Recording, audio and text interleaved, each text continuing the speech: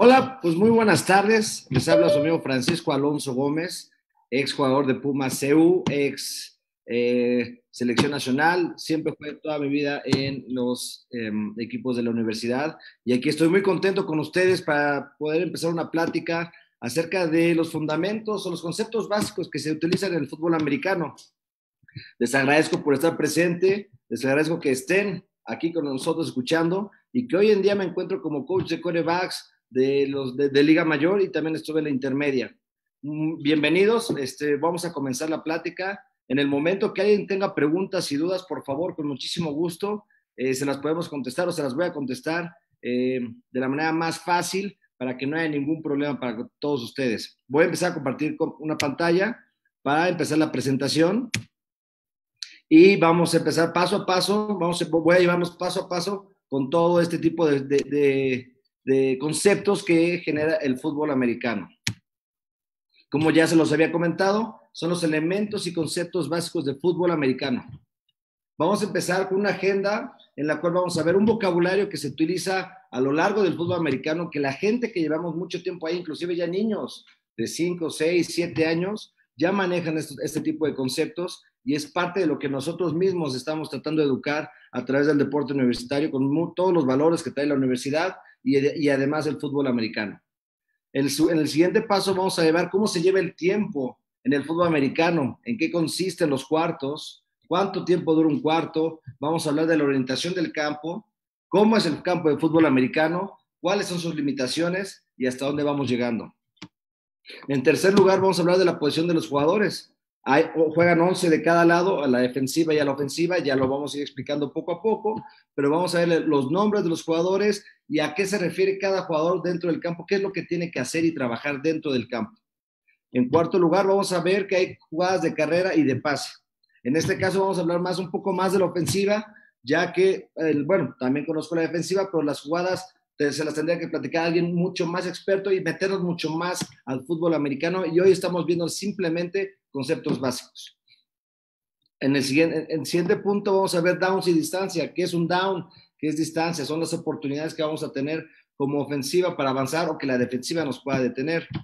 Vamos a ver la forma de anotar puntos, cuántos puntos se pueden anotar con las diferentes formas que existen dentro del fútbol americano y de esta manera lograr los partidos que, se, que logramos ver hoy en día en la NFL, o colegial, o aquí en nuestro país, con nuestros mismos Pumas.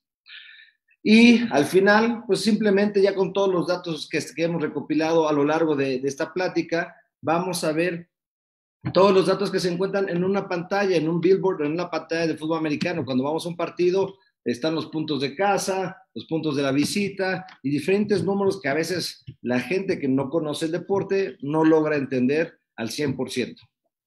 Continuamos. Bueno, vamos a con el vocabulario. Taclear. ¿Qué significa taclear? Taclear es tirar al suelo a la persona que trae el balón, independientemente de que sea un jugador ofensivo o defensivo y la pelota, el balón esté vivo. ¿Qué se refiere con estar vivo?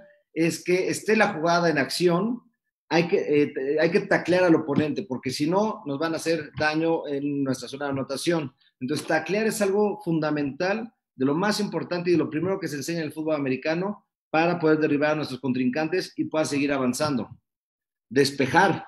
Despejar es patear el balón para entregárselo al otro equipo, ya que no, tuvimos no, avanzamos lo suficiente durante los downs, que más adelante vamos a seguir platicando de este tema, es, despejar el balón, soltamos el, bueno, tenemos al pateador que suelta el balón y da con el pie, lo despeja y se lo entrega al otro equipo.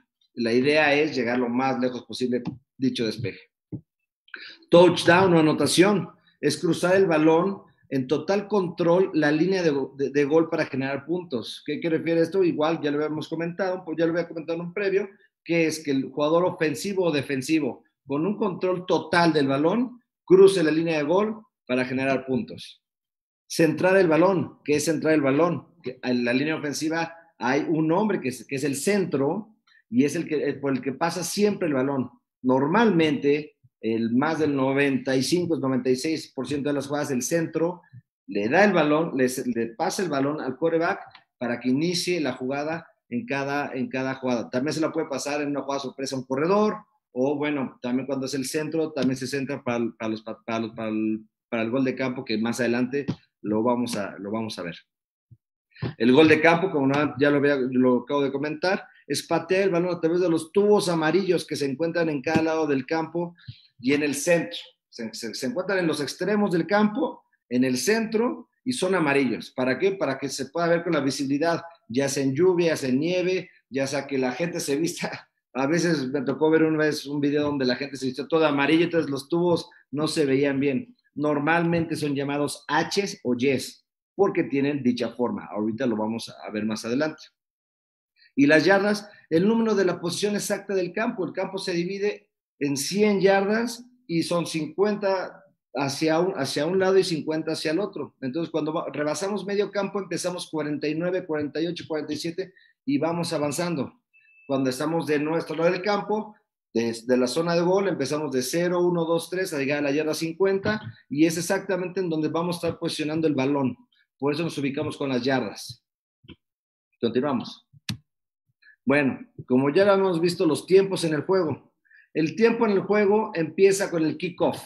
El kickoff empieza con el pateador pateando el balón y se lo da al equipo contrario. Esto previo a un volado, quien decide, quien, avienta una moneda, decide quién, si quiere recibir, si quiere patear o quiere diferir. ¿Qué es diferir?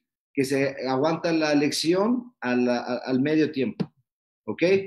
Vamos al primer tiempo que se divide en primer cuarto y segundo cuarto. Cada cuarto tiene 15 minutos. No dura más, dura más a veces porque se hace más largo. Cuando lanzamos un pase y es un pase incompleto, el tiempo se para.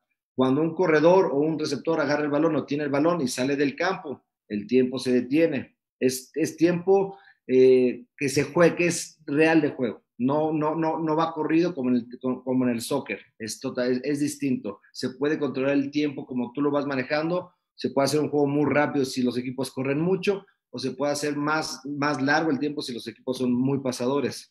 Al término del, del segundo cuarto, tenemos un medio tiempo que dura aproximadamente entre 10, 12 y a veces se puede alargar un poco más debido a que hay algún show en el medio tiempo y dependiendo ya también las reglas tanto de, de NFL como de NCAA. Aquí en México jugamos con las reglas de la NCAA, que es la liga universitaria en Estados Unidos. En segundo tiempo, el equipo que recibió el balón, ahora le toca patear el balón, empezando en el tercer cuarto. Igual, dura 15 minutos tanto el tercero y el cuarto cuarto. Eh, a partir de ahí se manejan igual. En cada, en cada Primer, en cada tiempo de los que tenemos aquí, tenemos tres tiempos fuera. ¿Qué es un tiempo fuera? Algo que no le gustó al coach, algo que no le gustó a algún jugador. Tenemos la oportunidad de pedir un tiempo fuera y platicar las cosas con nuestros entrenadores o con nuestros jugadores, dependiendo de la situación, que nos ayuda para corregir algo que no nos gustó. Esto, el tiempo fuera, siempre va a ser antes de centrar el balón, antes de que inicie la jugada. Acabando el cuarto cuarto, si un equipo tiene más puntos que el otro, se acaba. En dado caso que empaten en puntos, no se quede empatado el partido. Jamás un partido americano, bueno, en las reglas de, la NFL sí se acaba, se acaba, se puede acabar empatado un partido, pero tenemos los tiempos extras. Aquí en México, nuestros Pumas, nosotros, jugamos con las reglas de la y entonces hay series de desempate. En la serie de desempate, que es el tiempo extra para nosotros, tenemos, empezamos de la yarda 25 de nuestro contrincante, o sea, más, más 25 y no menos 25. Tenemos igual, ahorita vamos a hablar de las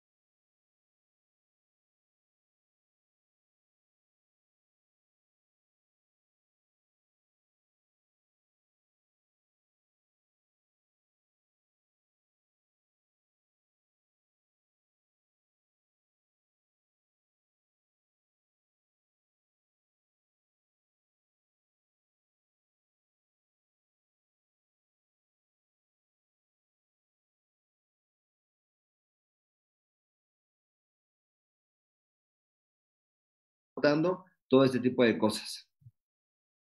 Para, como les había comentado, la H y la Y es para los goles de campo. También tenemos una patada que se llama gol de campo y también sirve para el punto extra. Del lado izquierdo podemos ver una forma de H que se utiliza en muchos estadios, estadios antiguos normalmente, pero ya se quita también un tubo de en medio para protección de los jugadores. Y del lado derecho tenemos lo que realmente ya se utiliza hoy en día, que es la famosa Y. Aquí podemos ver nuevamente, el campo mide 100 yardas y cada end zone mide 10 yardas. Entonces, en total, nuestro campo de fútbol americano mide 120 yardas por 52 de ancho.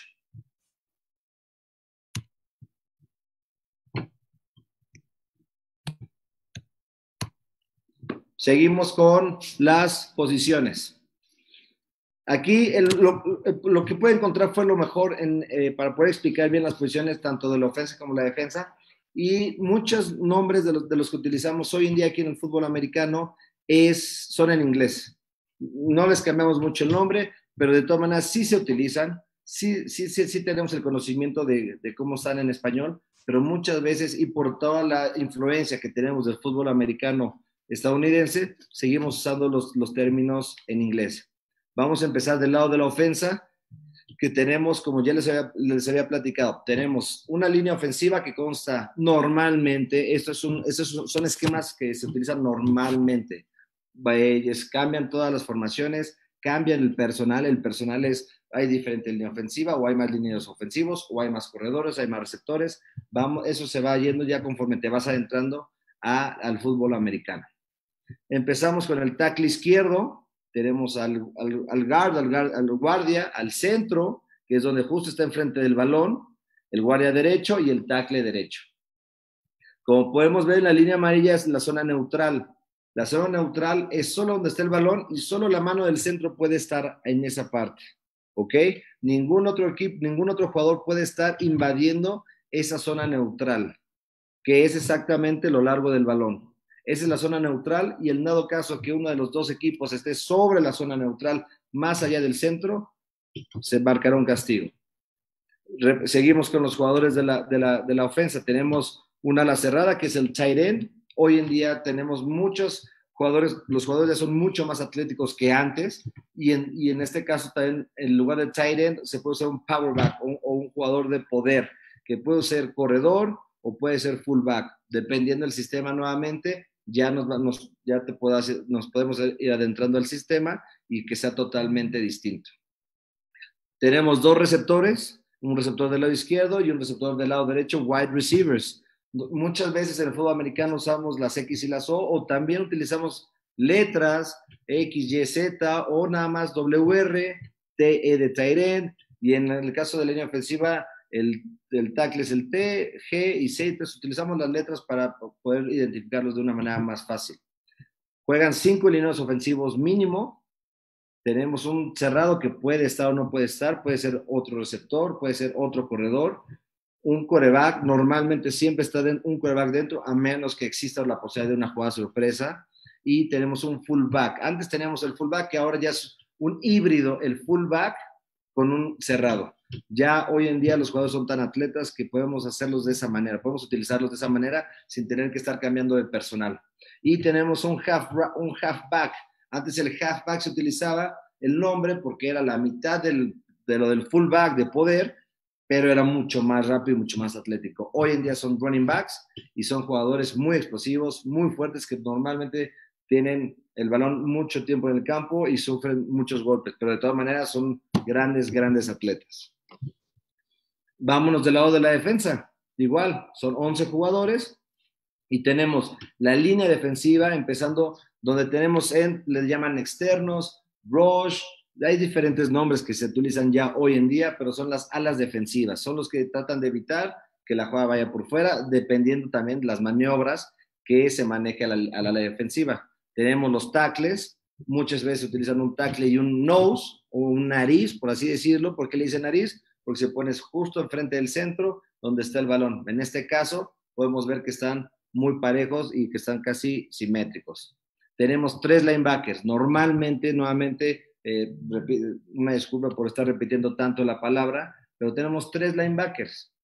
Por ejemplo, aquí tenemos dos linebackers externos y el linebacker de en medio.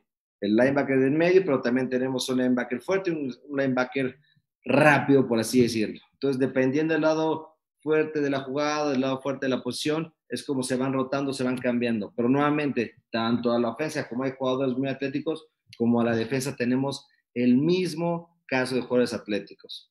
Y para mí, en lo personal, los jugadores más atléticos que existen en el fútbol americano son los profundos en general, tanto los corners como los safeties. Son los que, son los que están cubriendo a los receptores, en muchas, muchas ocasiones a los corredores, pero son los que están correteando, eh, eh, corriendo hacia atrás a los receptores. Entonces es algo que, es, que tienen que ser muy atléticos, que tienen que tener una reacción impresionante, tienen que aparte tener buenas manos para atrapar el balón y es algo que es un trabajo sumamente complicado en el fútbol americano. En este caso ya podemos cubrir las 11 posiciones tanto de la defensa, que es la que va a parar, como es la ofensa, como estamos viendo en la flecha ahí, que es la que quiere avanzar y anotar.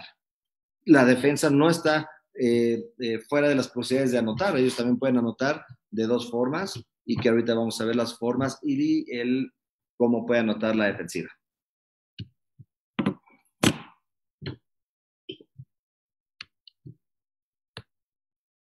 Jugadas de pase y de carrera. La jugada de carrera. El balón es centrado al coreback la mayoría de veces, como se los había contado, a menos que exista una jugada sorpresa o que saquen al coreback y sea una posición o una jugada, una formación para una jugada donde no exista coreback y tengas más jugadores de poder para tratar de correr en, un yardaje más, más corto, que es el, balón es centrado al coreback y le da este, y le da este al corredor del balón para que pueda avanzar a través de los huecos y o bloqueos que hace y genera la línea ofensiva. Como pudimos ver aquí atrás, nuevamente, voy a regresar.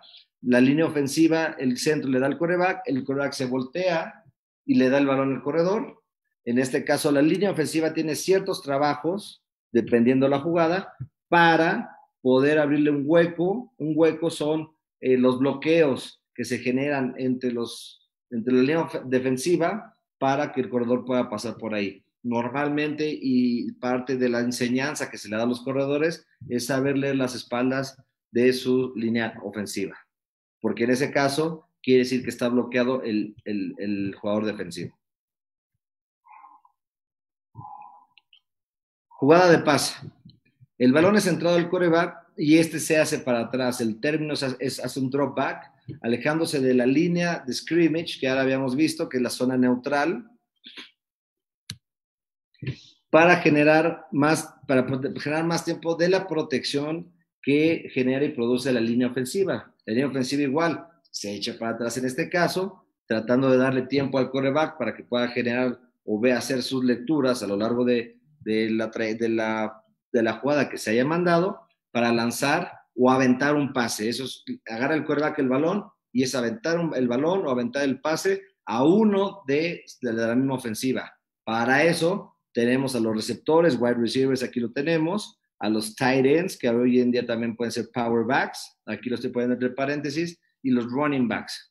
Aquí me rezo nuevamente, los wide receivers o los receptores, tanto la ala cerrada, se, tenemos una combinación de, de jugadas. Tienen, tenemos un árbol de trayectorias en el cual pueden ir hacia afuera, pueden ir hacia adentro, pueden ir recta, atacar al poste. El poste es atacar justamente a la H o a la Y, o diferentes escuadramentos, de, eh, un cruzado, diferentes tipos de trayectorias que con base en nombres que nosotros mismos le damos, es como podemos nosotros atacar las diferentes maniobras de las defensivas, que también las defensivas no se quedan, por supuesto, paradas y tienen diferentes, eh, diferentes formas de atacarlo a la ofensiva. Un disparo, por ejemplo, es que los más comunes, los disparos más comunes, es que sean de los linebackers, ya sea de los externos o del interno, o si la defensa tiene cuatro linebackers, bueno, pueden venir hasta dos o hasta tres linebackers a presionar al quarterback o a tratar de destruir la jugada eh, ofensiva.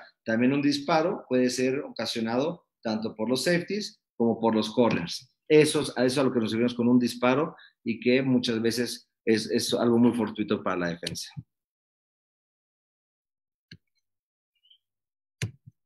Downs y distancia. Cuatro downs son cuatro oportunidades para ganar 10 yardas. Se dividen 10 yardas, tenemos unas cadenas que tienen unos postes naranjas y que son 10 yardas. Cuando el equipo ofensivo empieza una serie ofensiva, normalmente empieza en primer down y 10 yardas por avanzar. ¿Por qué normalmente? Porque pudo haber un castigo antes de iniciar la jugada y se va en primero y 20, primero y 15, eh, un movimiento en falso, diferentes circunstancias que eh, abarcan al fútbol americano con los castigos, pero normalmente no nos vamos a meter en ese tema, vamos a meternos a, lo, fundamental que ahorita es explicar los downs y distancias. Entonces, una, cuando empieza una serie ofensiva, uno de los equipos empieza en primero y 10 y tiene cuatro oportunidades para, para cruzar esas 10 yardas. Si lo, si lo logra antes de esas cuatro oportunidades, tiene otras cuatro oportunidades para seguir avanzando y así sucesivamente hasta llegar al touchdown o a la línea de gol. Aquí ya lo, ya, lo platicamos. Si el equipo ofensivo no logra rebasar las 10 yardas establecidas, en cuarto down tienen tres opciones, dependiendo también mucho de la zona del campo y también del plan de juego y cómo esté la confianza o cómo está la situación dentro del partido en puntos y en tiempo. La primera es realizar una jugada de paso, carrera para lograr avanzar. Esto estamos hablando del cuarto down. Para avanzar las 10 yardas o las yardas que le, hayan hecho falta. Puede ser una yarda, pueden ser dos, pueden ser tres, pueden ser 15 yardas para lograr rebasar la marca de donde originalmente estaban las 10 yardas. Y si el equipo no logra superar las 10 yardas en esa cuarta oportunidad, le entrega el balón al equipo contrario justo donde fue parado, donde lo detuvieron. Ahí, así se acaba la serie ofensiva de, la ofensiva de este equipo. La segunda opción es, como ya lo hemos dicho, despejar el balón, es agarrar, lo centran, despejar el balón, patearlo para entregárselo al otro equipo y que tenga la oportunidad de avanzar y generar puntos para su causa. Em, ¿A qué me refiero con esto? Ahora ellos empiezan a tener su serie ofensiva. Y la tercera es realizar un gol de campo, un field goal. Esto es para poder generar puntos para su causa. Si, el balón está adelante de la yarda 50 y tú tienes un gran, gran pateador, entonces a lo mejor llegando a la yarda 40 ya tienes eh, listo para mandar al pateador de gol de campo adentro y que este balón entre entre la H y la Y para que sea bueno. Tiene que ir por arriba del palo vertical que tenemos, del palo horizontal, ya sea de la H o de la Y, pero que tiene que entrar entre esos tres postes para que sea bueno el gol de campo. Si el gol de campo es tapado, lo puede recuperar la defensiva e ir a anotar del otro lado. Si el gol de campo es, lo falla, no lo llega o, se va desviado, no vale puntos y la ofensiva del equipo contrario empieza justo donde se quedó, eh, donde fue centrado el balón antes del gol de campo. Formas de anotar puntos. Vamos, uno de los principales, ya justo lo acabamos de hablar, es el gol de campo o field goal. Si están al alcance, distancia en yardas de su pateador y deciden ir por él y logran meter el balón entre la H o la Y, equivale a tres puntos para ese equipo. Nuevamente, no vamos a, bueno, es muy complicado. Creo que el récord hoy en día es de 63, 64 yardas, si no mal recuerdo, pero estamos contando ya también las yardas que son del end zone. Entonces fue una patada que fue realizada atrás de la yarda 50. Muy pocos pateadores tienen esa, esa potencia o, y aparte de potencia tienen que tener, eh, eh, bueno, la distancia obviamente, pero el, tiro para poderlo meter entre la H y la Y y hacerlo vale tres puntos. Si un jugador ofensivo o defensivo logra cruzar la línea de gol, ya le habíamos hablado, la yarda cero, o entrar al end zone, con la posesión del balón le dará a su equipo seis puntos y se llama touchdown o anotación. si hablamos de un touchdown o una anotación, vale seis puntos para el equipo que logró eh, cruzar con el balón o cruzar el balón, la línea de gol o entrar al. Después del touchdown, se le da la opción a ese equipo de ir por un punto extra, que sería equivalente a un field goal desde la yarda 2, desde la yarda 2, 2 y media, se pone el balón y desde ahí se centra para ir por un punto. Meterlo entre los, entre, entre los postes vale un punto. En la NFL cambió la regla y ya es de, de, más atrás. Me parece que es de la yarda 15. Nosotros seguimos siendo NCAA y es de la yarda 2, 2 y media, desde donde se centra el balón para el punto extra. Perdón. Pero también podemos o tenemos la opción de ir por la conversión. ¿Qué es la conversión? En este caso, el equipo decide ir por una jugada de pase o carrera para intentar ir por dos puntos. Depende mucho de la situación del juego, el tiempo, vamos perdiendo, vamos ganando, si vamos a ir por dos puntos o nada más vamos a ir por un punto. Vamos a ir por el punto extra, el field goal, o vamos a ir por la conversión. La última opción en la que se puede generar puntos es un safety.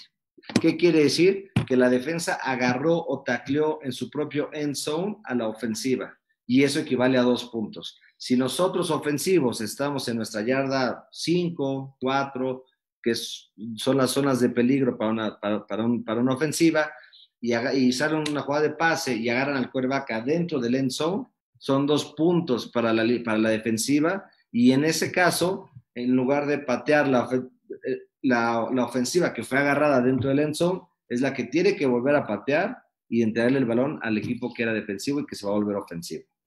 En los otros tres casos, bueno, dos casos, que es el gol de campo y el touchdown, el equipo que anota entrega el balón para que el otro equipo tenga la oportunidad de anotar.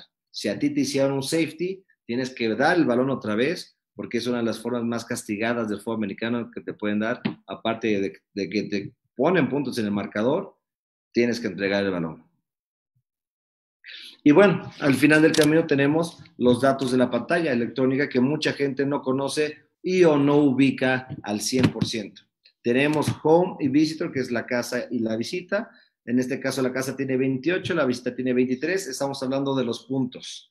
En este caso tenemos que quedan 10 minutos con 37 segundos del cuarto cuarto. ¿Dónde tenemos el cuarto cuarto? Donde dice QTR, es la abreviación para quarter. Quarter o, cuarto en, este caso, que la mayoría de los, de, los, de los tableros electrónicos hoy en día están puestos en inglés y es diferente que los, que los estén cambiando.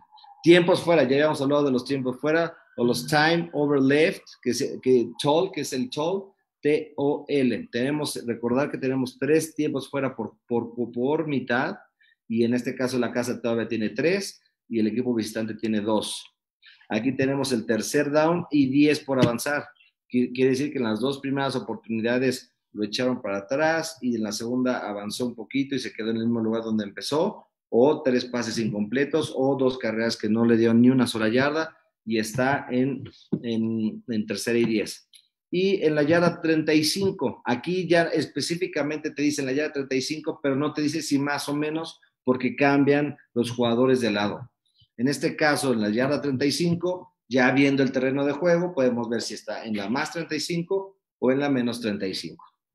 Así es como podemos nosotros ver datos de la pantalla electrónica. Bueno, y con esto eh, terminamos una clínica, creo que bastante rápida, de los fundamentos del fútbol americano y que son conceptos muy básicos para poder entender, poder disfrutar y poder disfrutar cada vez más de este, de este hermoso deporte que es el fútbol americano. Muchas gracias.